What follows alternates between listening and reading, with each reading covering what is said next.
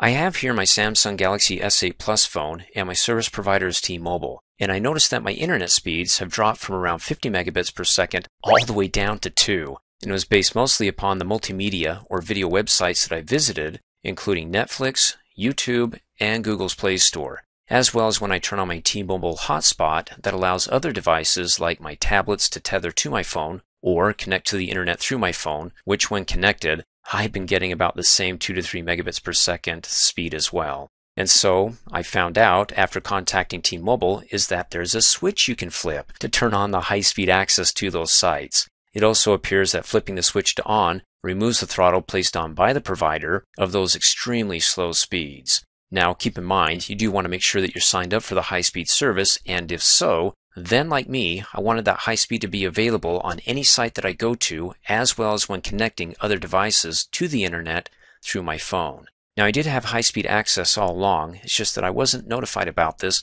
and realized after a while at one point I wasn't getting the speed that I paid for. It's been my experience that some service providers will do this, and that includes lower rates for the same services. So, that's why I try to contact T Mobile about once a year as I was told by a rep there, to see if I can get my same services at a lower price. And more often than not, because with newer technology, more specials, and users signing up, I've been able to have some significant savings. And it appears to be no different with the speed here. So if you are signed up for high speed internet from any service provider like Verizon or in this example, T-Mobile, and you want to see if you're being throttled, well, for your speed that is, here's how I tested it. I opened up the internet on my phone and went to the website bandwidthplace.com to test my internet speed and tap start. And so if like me, and you signed up for the high speed, then you should see as I initially did, some decent speeds around 40 to 50 megabits per second here. Now I don't care about testing the upload speeds, so let me close out of here and go to another site. Now this other site, fast.com, is by Netflix, and it will also test for internet speed. I came here after bandwidthplace.com using that as my control and then saw that my speeds were extremely low, about 2 megabits per second. So my next test was at YouTube. I wanted to find a high definition video like a 1080 and let me play it, turn the phone on the side, and then to find out what kind of speeds you're getting on YouTube, you can go up and click on the three dots, the more button, and you want to select Stats for Nerds because we're nerds. And when I got back then was 2 to 3 megabits per second as opposed to now where it's about in the mid 20s because I've already fixed it. In any case, on my mobile hotspot, when I selected that to allow other devices to hook up and use the internet through my phone, like for my tablet, going to Google Play Store to download, it was about 2 megabits per second as well, extremely slow. So I'm here at the T-Mobile website, clicked on My T-Mobile, typed in my login information, and then logged in. And then I was told to come up here and click on Profile, click on it, and then over here on the left hand side, I was asked if I could see media settings. I did not, so the rep got off, talked to somebody in tech support, came back, asked me to refresh the screen. When I did, I could then see it. Then I could click on media settings, and there you go, high def video resolution, and it's on. Well, if you do have the media settings and it's not turned on, well, turn it on. In any case, when I turned it on, the rep told me it would be about three to four hours before I would see the change or increase in internet speed.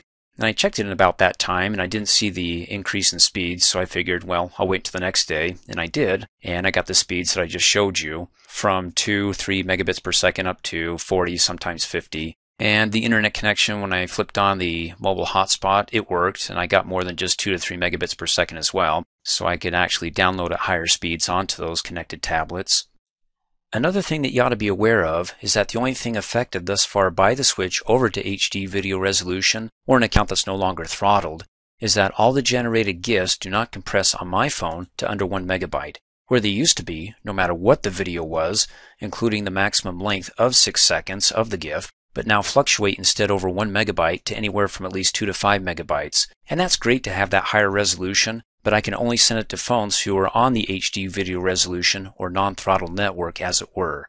Because as you can see here, here's a snapshot of my phone. When I did try to send it out, it failed. It says the file is greater than 1 megabyte and exceeds the maximum file size limit for the recipient. So even if just one person in my text group is not on the higher speed network or the HD video resolution plan, my larger than 1 megabyte gets rejected. And I tested this with another T-Mobile phone that had the HD video resolution turned on and sent them my 2 megabyte GIF separately from the group here, and they received the larger file size.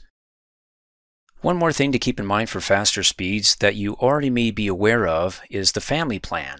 That is, if one person on the family plan is cruising the internet, then the speeds are fine. But if another member gets on it at the same time, then you're on the split plan, where your family speed does get split to as many members who are on at the same time. For example, if I go ahead and push the start button here, we'll take a look at the speeds for one person on the network. And I'm not in a great location, so the speeds won't be great, maybe about 20 megabits per second.